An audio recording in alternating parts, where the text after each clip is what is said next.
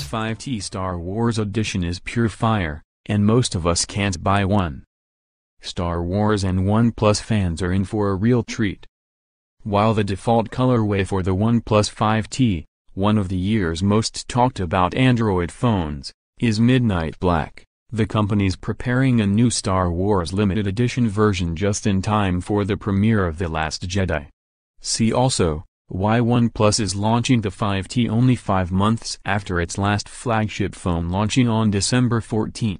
That's a day before the US release of The Last Jedi. The special edition trades the black aluminum backside for Stormtrooper white, black button accents, and a blood red alert slider button. There's also a Star Wars logo emblazoned along the bottom of the phone, along with what appears to be a custom Stormtrooper wallpaper.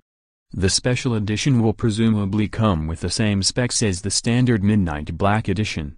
We've reached out to OnePlus for more details on which version it'll come in, 6GB of RAM plus 64GB of storage, 8GB of RAM plus 128GB of storage, or both.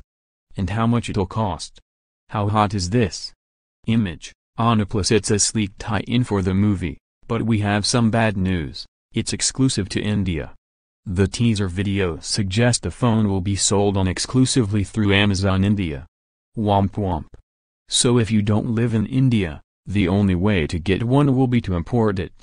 It sucks that the rest of the world is being snubbed, but this is the second time since the phone launched that Asia's getting a hot new color. Last week, OnePlus unveiled a fiery lava red version of the 5T exclusive to China.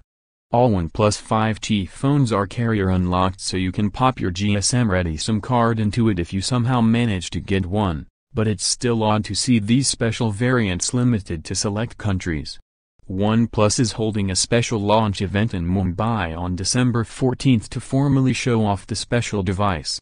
Fans can purchase tickets to attend the event here.